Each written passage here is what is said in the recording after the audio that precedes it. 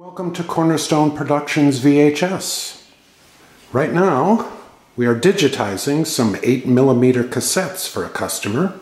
Once that's digitized, we put it on a flash drive and we take it over to the computer where we put it in iMovie and do some editing, cut out the blue areas between the scenes, maybe adjust the sound, the lighting, and then we send the finished product to our hard drive.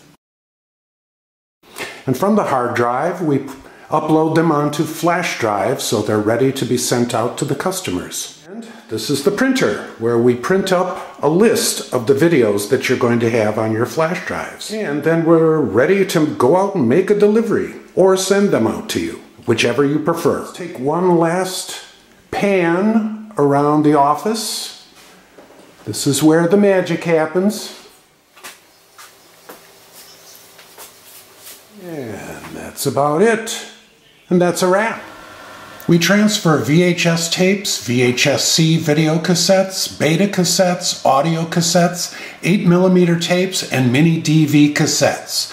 So if you have some tapes that contain memories that you would like to preserve, please contact us.